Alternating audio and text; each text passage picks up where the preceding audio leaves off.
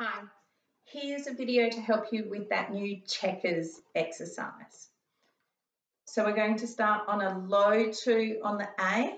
Check that your one and two are really together with a nice straight wrist.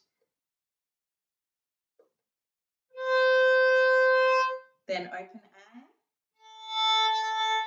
Move your elbows over to the D.